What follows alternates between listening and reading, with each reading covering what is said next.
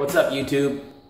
Well, I've got a new welder. Actually, I've got two new welders and um, I'm going to put uh, both of these on this cart and I've got to fabricate a way to um, put this welder, the other welder, and the plasma cutter in addition to the gas bottles on here. So I'm going to have to build a frame and um, a way to secure the bottles and all the cables that are associated with the uh, plasma cutter, the MIG welder, and the TIG welder. I'll show you the uh, all the other stuff that's got to go on the cart as well. Okay, this is my uh, new Lincoln Power MIG 210. It's a multi-process machine. Um, turn it on for you. You can check it out. It's pretty uh, sophisticated. It's actually a lot easier to use because it automatically configures the welder for whatever material you're using. You just go through the menu and basically tell it what you're what you're welding and what you're welding with, and uh, it sets it up for you. But I got to get this cart, this uh, welder on that cart with all the cables, and um, do it in such a way that the machines are secure. So there's the gas. There's the gas bottle that I got to use.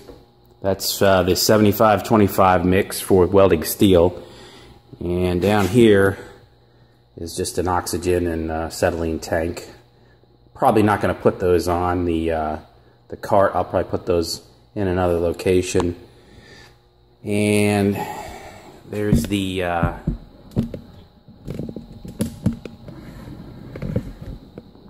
the Miller 375 plasma cutter, and it's got the work cable and the uh,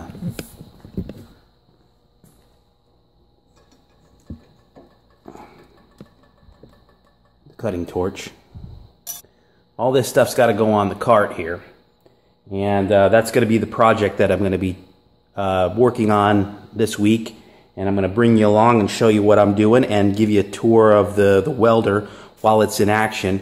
Hopefully I don't ruin my camera here uh, with the welding. I, I, I, probably, I don't know if I'll show the welding itself or not, but um, I, I probably will show you the, at least the result of the, the welding. There's plenty of welding videos on YouTube where people are using uh, pretty high-end cameras to film the actual welding part. Um, they're they're very expensive, and uh, I, I, don't think that would be productive to, to show that part here. But um, let me walk around the front of the cabinet, and I'll give you a, a little tour of that as well.